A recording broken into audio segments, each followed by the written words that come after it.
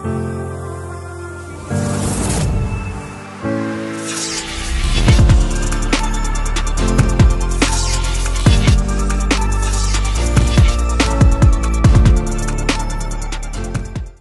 Siapa sahaja tidak bangga sekiranya negara sendiri dijadikan sebagai sumber inspirasi oleh negara-negara lain. Perkara ini telah berlaku di mana negara dari benua Amerika Latin iaitu negara Uruguay menjadikan nama negara Malaysia sebagai sumber inspirasi untuk kelab bola sepak mereka sehingga nama kelab mereka juga dilihat sama dengan nama negara Malaysia.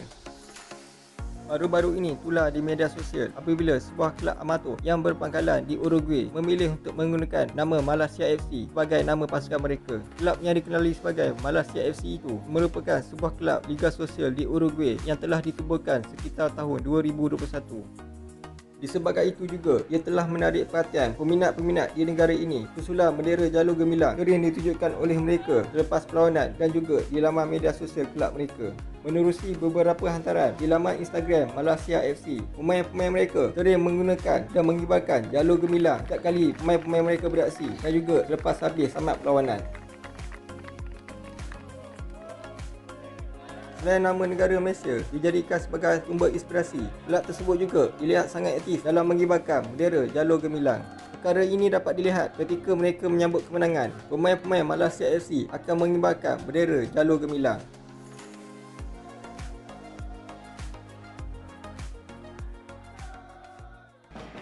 Inspirasi yang diambil oleh kelab Uruguay itu iaitu Malaysia FC ternyata tidak sia-sia oleh kerana ia mendapat sokongan yang sangat positif dan respon yang menggalakkan daripada netizen-netizen Malaysia. Rata-rata peminat dan netizen Malaysia meninggalkan komen-komen yang membina dan memberikan kata-kata semangat yang positif kepada kelab Malaysia FC itu.